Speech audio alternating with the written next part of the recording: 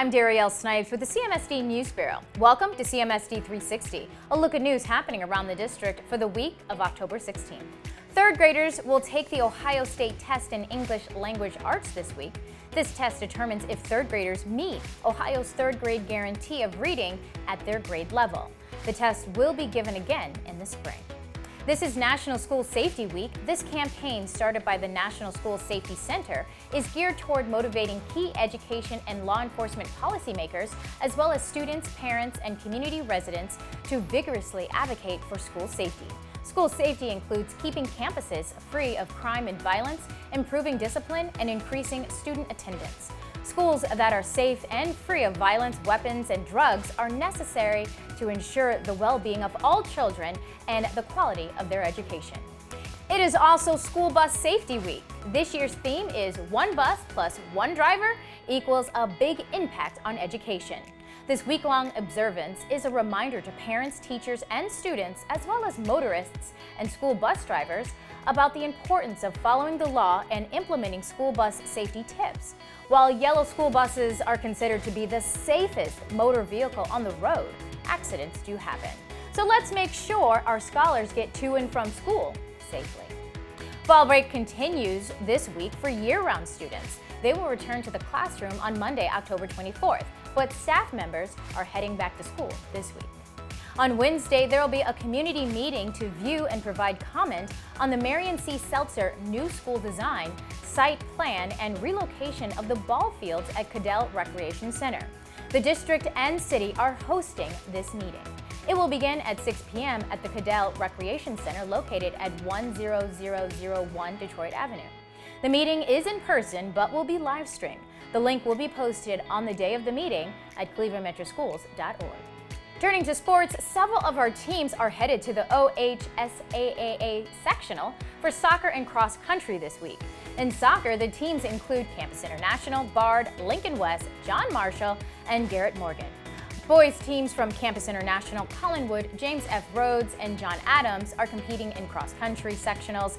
The girls cross-country teams include James F. Rhodes, John Adams, John Hay, as well as Max Hayes. For more details about these games, head to clevelandmetroschools.org slash Senate League. And good luck to all of our teams. Looking ahead, the CMSD Fall Festival is happening on Wednesday, October 26 from 5 to 7.30 p.m. at Max Hayes High School. This evening of family-friendly fun and learning will include literacy and science activities.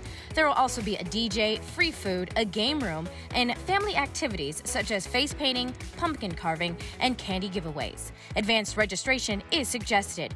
Visit clevelandmetroschools.org slash fallfest for more information and to register. On Thursday, October 27th, CMSD will be holding a job fair from 9 to 4 at East Professional Center. We have several positions open, including environmental service specialist, cook, lunch attendant, professional bus drivers, and more. Another open position is Director of Total Rewards. Here is Stephen Christian, Executive Director of Total Rewards, with more on this position. So what does this job entail? This position is one of the critical pieces and voices to creating a great place to work at CMSD.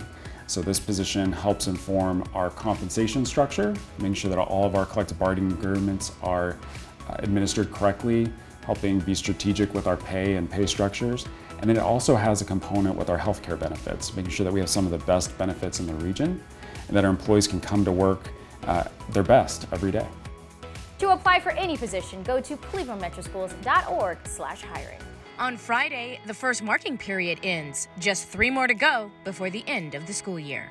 Some reminders, October is National Principals Month, so please take time to show your appreciation for our school leaders and the significant role they play in our district's success.